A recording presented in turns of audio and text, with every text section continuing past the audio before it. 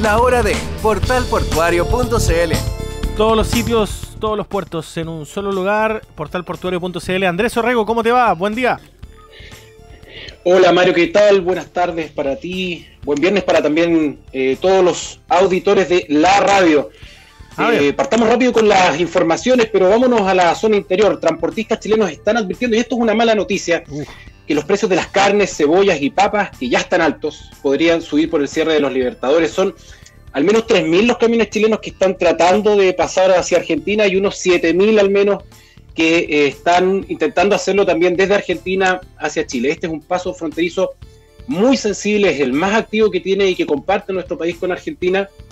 ¿Y por qué es tan eh, importante? ¿Por qué? Porque Chile importa mucha carne de Argentina, de Paraguay y de Brasil, y esta carne se transporta por vía terrestre y pasa por el paso fronterizo Los Libertadores o Cristo Redentor. La Fede Quinta, que es la Federación de Dueños de Camiones de la región de Valparaíso, alertó que no existen otros puntos de control o de frontera con la capacidad de atender a todos los camiones que están varados en este momento debido a la situación climática adversa que se registra en la zona. En el mejor de los casos, estos puntos alternativos pueden atender a 150 camiones diarios, pero los libertadores por día pasan 1.500 camiones, por eso es tan importante. Este año solamente este paso ha tenido 58 eh, días de cierre. O sea, por eso es tan dramática la situación que está ocurriendo a propósito del cambio climático en este paso fronterizo que se ha visto bastante afectado. Actualmente continúan las nevadas en la alta cordillera con temperaturas de menos 4 grados y vientos de hasta 10 kilómetros eh, por hora, Mario.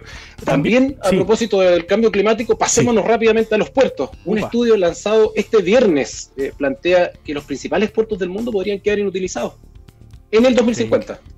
Increíble. El motivo principal, Mario, te lo cuento al tiro. El mar.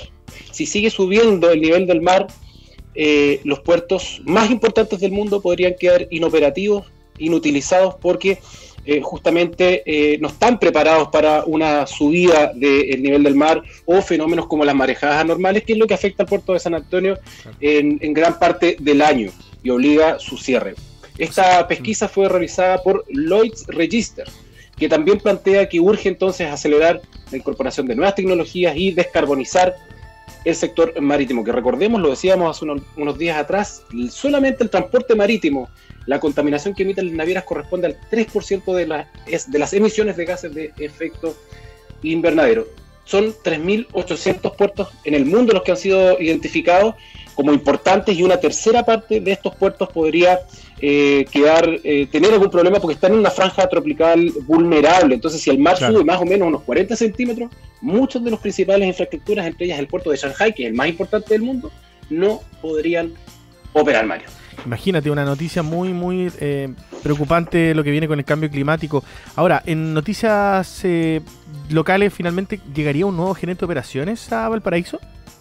Sí, llega un nuevo gerente de operaciones a Terminal Portuario Valparaíso. Se trata de Henry Balboa, quien asumió esta gerencia en el TPB, que es el Terminal 2 del puerto de Valparaíso, según dio a conocer la empresa a través de sus redes sociales. Antes de llegar a Valparaíso, Balboa había ocupado este mismo puesto en Iquique Terminal Internacional, pero Henry Balboa es un ejecutivo que tiene una vasta experiencia en distintos puertos de Chile y también del exterior. Vamos rápidamente al tema recomendado. Te cuento, Mario, que lanzamos un informe, un reporte que hemos hecho con el apoyo del puerto de Barranquilla junto al periodista y académico Marcelo López, él es académico de la Universidad de Viña del Mar. Y este reporte habla de la seguridad física de las cargas y cómo los puertos de América Latina intentan frenar el narcotráfico. Así que muy interesante para que puedan ir a consultarlo a portalportuario.cl. Ahí la portadita está está, es un buen informe, es breve y cuenta distintas medidas que se están aplicando en los puertos a propósito del narcotráfico y el crimen organizado. Excelente. Todos los puertos en un solo sitio, portalportuario.cl. Muchas gracias, Andrés. ¿Y cuál es su eh, el pronóstico para el partido del día de hoy? Yo creo que vamos a empatar a uno, pero espero que gane. Eso. Abrazo grande. un abrazo para ti, para los auditores de la radio. Esto fue La Hora de portalportuario.cl.